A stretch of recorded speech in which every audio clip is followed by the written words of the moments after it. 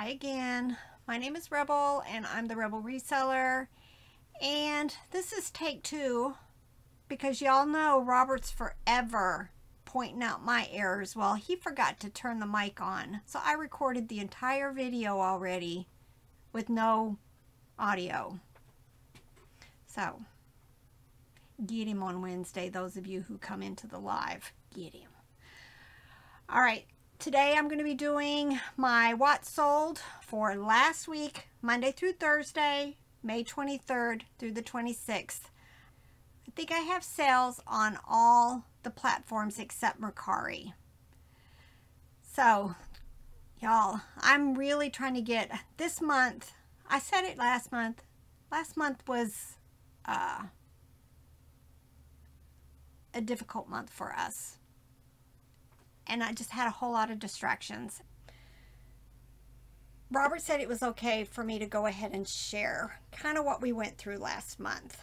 It was a it was a tough month for us. And we weren't ready to share until now. But Robert had a regular doctor's appointment last at the beginning of last month and his doctor wanted to do some follow-up testing.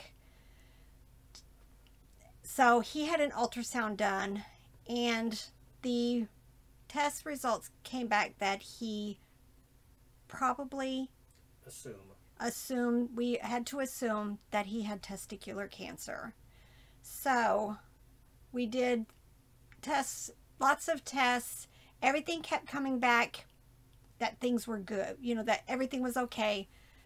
But he opted to go ahead and have surgery which was the Wednesday that we were supposed to do the live. And believe me, it was so hard Tuesday night to do the nurse flipper, knowing the next morning we had to get up at 5 in the morning and be at the hospital for surgery. But we found out this week that it was not cancer.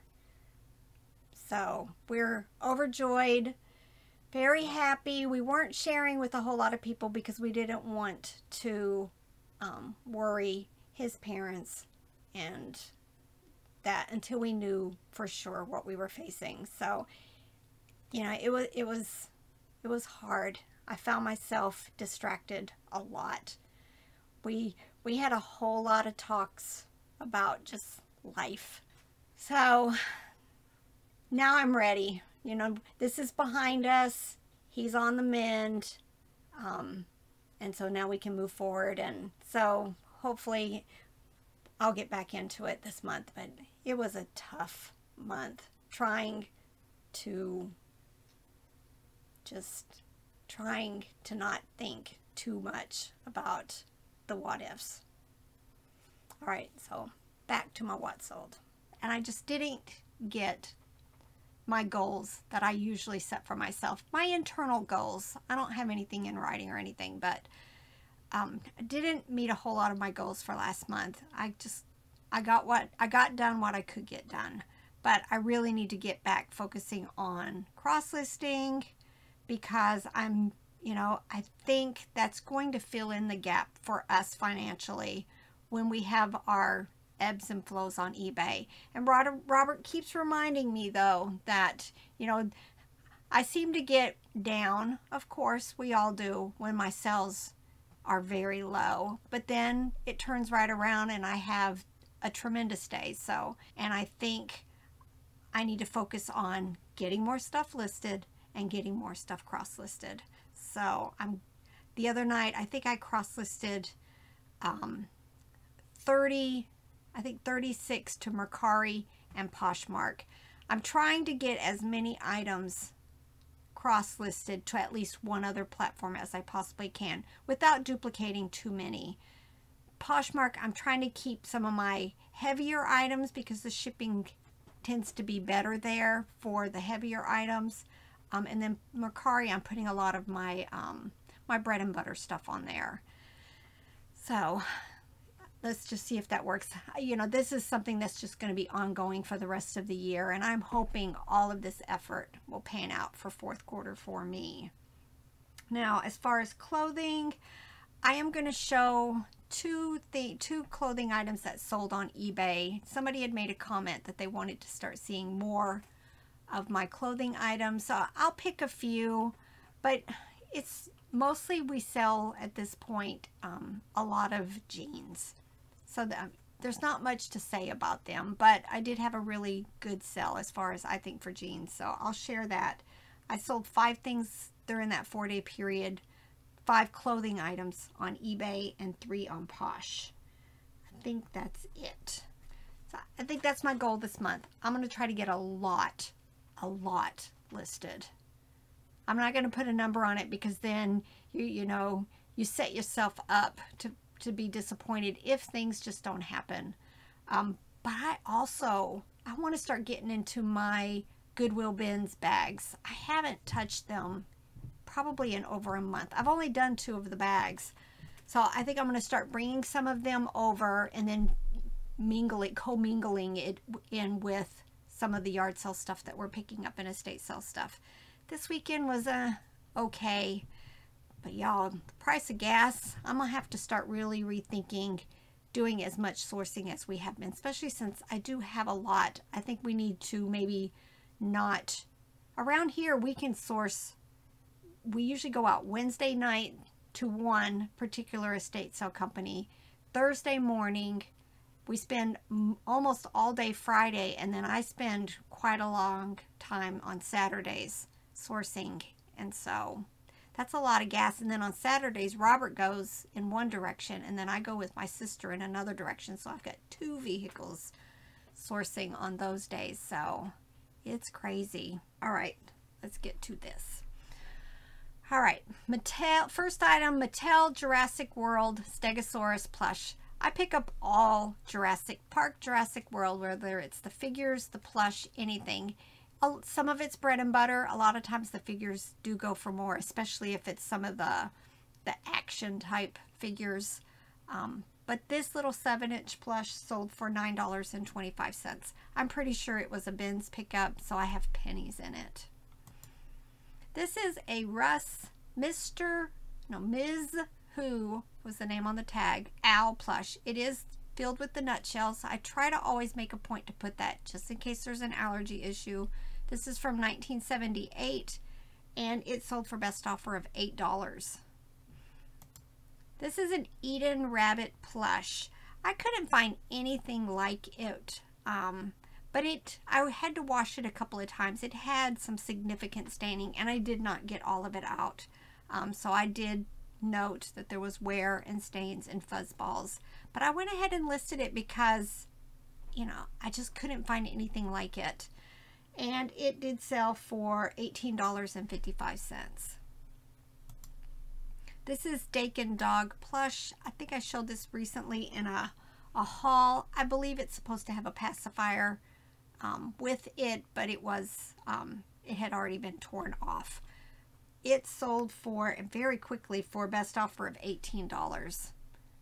I'm taking a lot of offers right now because I want to get that, you know, that, that sell-through rate going for me, sending out tons of offers, probably anywhere from 50 to over 100 a day. Um, just trying to get activity, get the algorithm to smile on me a little. This is Playskool My First Soft Baby Doll. This is the satin version. Now there is a Snuzzles version also that I think is sells for more. This one's from 1995. It too did have a lot of discoloration that did not come out in the wash. Um, just made a note of it, took pictures, and it sold for best offer of $20. I'll try to, the Snuzzles by Playskool are, I've talked about it before. I'll try to put a few more up here. Definitely familiarize yourself with just the, the fabric that they're made of and the patterns because once you've seen it, you'll know it and you'll be able to look for it like in piles of plush um, because they are definitely big bolos. This is a Dandy Imports Little Brown Dog.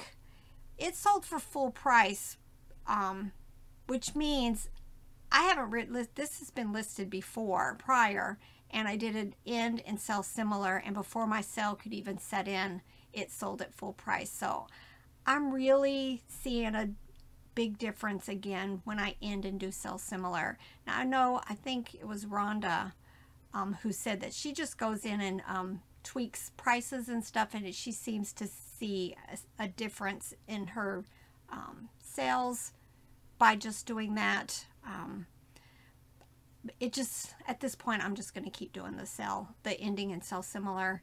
It's just tedious when you have as many items as I do. Um, it, it, instead of me doing cross listing, which is what I really need to be doing, I do have to spend, you know, a certain amount of time each evening just trying to stay ahead and keep ending the ones that are about to end at the end of the month because I'm at, I'm getting to that point with 9,000 listings where um, it, pretty soon I'm going to probably have to upgrade because I'll start paying more fees um, at the level that I'm at.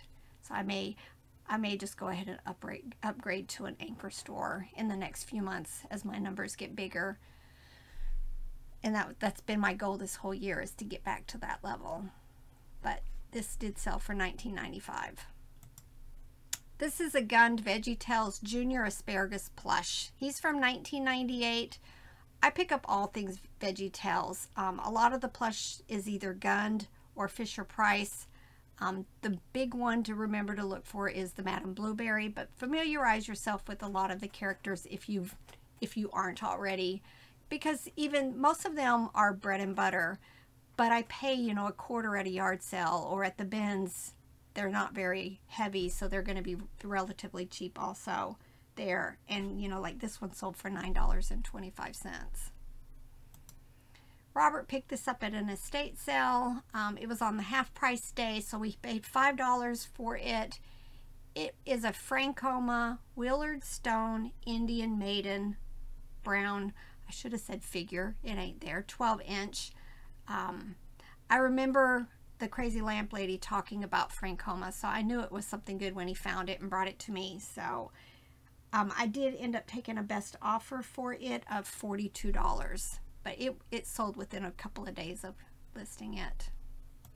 This is one of the pairs of jeans we sold. This is Rocky Mountain Clothing. It is, I'm pretty sure these are vintage jeans. They sold for best offer of $50. These are the Great Courses. Um, they are a DVD series. Um, there's on all kinds of subject. This particular one was world history. I think they're mostly directed at like the college level. Um, but I picked up a bunch. What, how I learned about these is I found a bunch of them at the Goodwill bins one time and I went ahead and just bought them all. And some of them sold for quite well, like 40 and $50 for the sets. Um, and then I found these, this particular set at an estate sale. I think I paid a dollar a DVD so I probably had $4 in this because I paid for the book also. Um, and it sold for $26.92. This is JJ the jet plane. It is one of the wooden um, vehicles. This is old Oscar. It sold for best offer of $8. Sorry, I have a little cheat sheet, cheat board over here. Robert said he's going to get me an app so that I can start putting stuff on the screen and not have this distraction where I'm always trying to make sure what the screen says and what it actually sold for is the same. This is Capelli beaded rattan straw handbag purse. I picked this up at an estate sale. I want to say I paid $1 for it. I sent out a bunch of offers for um, $12, um, but it ended up selling at my sale price of $13.90. Now this brand was by Relpo. And when I did comps on eBay, the only thing I was seeing was like a single snowman vase. So I decided since I had this double that, you know, I just kind of picked a price that I thought was reasonable based on what the, the singles were selling for and it sold pretty much I think the same day I listed it for $29.95 so definitely keep your eyes out for this Relpo.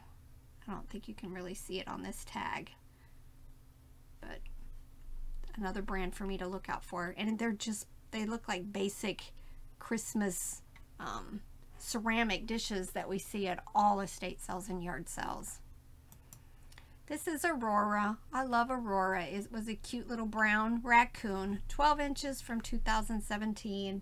He sold for $9.25. This is another one of the Monet trinket boxes. This one was an elephant. I bought seven of them at an estate sale, paid $5 each. I've already sold one of them. I can't remember for how much. Um, this is the second one and it sold for best offer of $20.50. These are Hush Puppies. Um, I picked these up in my online estate sale that I purchased through HiBid last year. I really need to get back into starting to watch for them again in our local area. There's been some amazing ones that just I couldn't do the pickup, so I didn't bid on them. But I think if you're having problems looking for inventory, and I mean, I don't live in a large area. I will have to travel a little bit, probably to Knoxville um, is where I'm seeing a lot of these online estate sales are going through. Um, but, you know, definitely check into it. And we even learned, we were playing around with it and was figuring out, you know, picking categories like for me, toys, and then looking in the estate sales, the, the auctions that had toys in them. These sold for $18.55. This is Sparky Fire Dalmatian Dog. It is by BJ Toy Company. Probably, I put it in my like Toy Factory level quality. Um, but I do pick them up. They're usually bread and butter. And there's usually cute characters like I know to pick up Dalmatians and Rottweilers and especially a lot of the dogs and the characters. Um, and this one sold relatively quickly for $9.25. This is a Harry Potter Hedwig Owl plush clip-on. Little, three and a half inch. It sold for best offer of $8. Again, that's probably something I picked up at the bin, so pennies in it. This was a brand I hadn't seen before. It is Gasoline Jeans. Um, and they sold for best offer of $26. So definitely, we get a lot of vintage jeans in this area. So it's just something I think we're going to really focus more on. Of course, I like to find the Patagonias and, and some of the other higher end items, but I sell a lot of jeans and that is really helping fill in the gaps between Poshmark and eBay um, with the clothing sales. This I picked up at the same estate sale that I bought all of those Monet trinket boxes. I spent, I think the first day was like a $100 and the second day was like a $160 and that was half price. Bought a ton of stuff. I think most of it's been listed, but I'm not sure. This was a Corolle Catherine Refabert doll. I am pretty sure it was a little boy. Um, he didn't look like he'd been played with. He still had the netting and everything on his hair, um, but the box definitely had issues.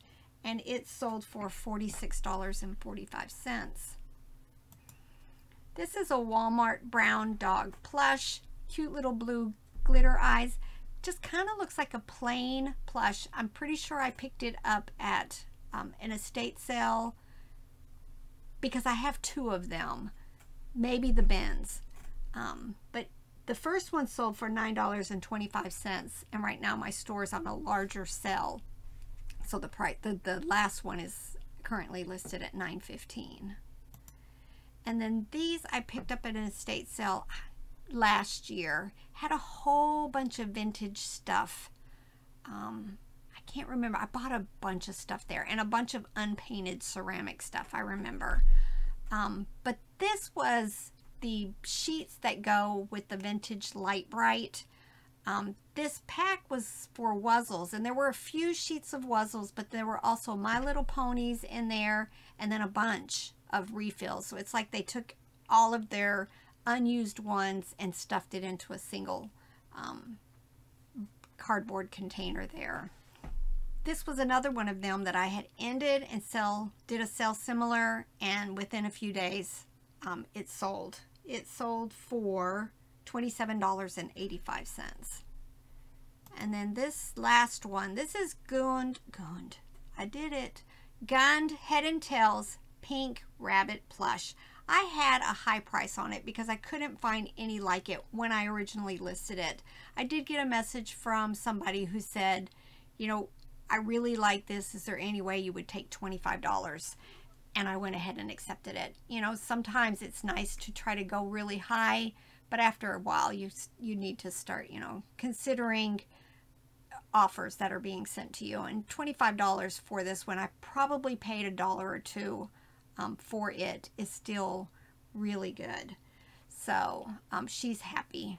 And, you know, I've got, it was huge, 23 inches. So it was taking up a whole lot of real estate out there in my storage area. So that's good.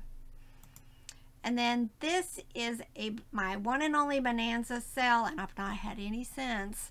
But I received a message from somebody. I think I had it listed for like $34 on Bonanza and she sent me a message asking if I would take $30. So I went ahead and changed the price. Quick sell. This is Commonwealth Maisy Mouse 12 inch plush.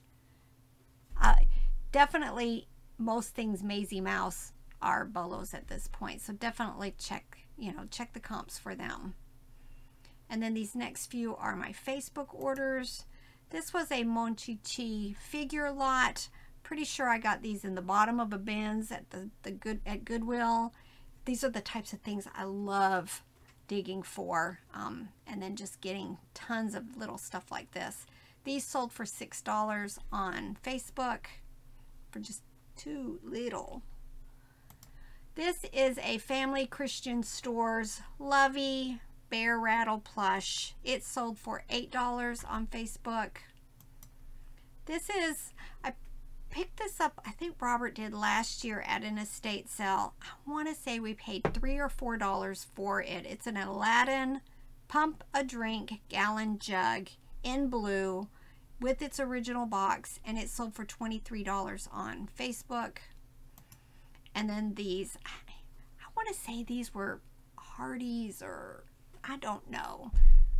But I find these quite often and I pick them up and I make small lots with them. This is Fraggle Rock, which I just noticed I didn't have a space there. Um, this is red radish and then the eggplant car. They're from the 1980s. These two sold for $7. This was my other Poshmark sale. I sold three clothing items and then this Nature Company Mountain Lion plush it sold for $32 on Poshmark. And then I had three Mercari sales. This is an Applause. I think I said in the beginning I didn't have Mercari. It's Etsy I didn't have. Huh. Messed it up. All right, this is Applause Happy Birthday Donald Duck plush. I actually have three of these that I picked up. I bought a bundle of, of vintage Mickey Mouse stuff at a, an estate sale. And didn't, I don't remember per piece how much I ended up paying for everything. This sold on um, Mercari for $6. This was a white lamb plush, no tag, had everything going against it as far as, you know, I don't know who the manufacturer is. You know, it's just kind of a basic lamb plush with the cute little ears. Still sold it for $18.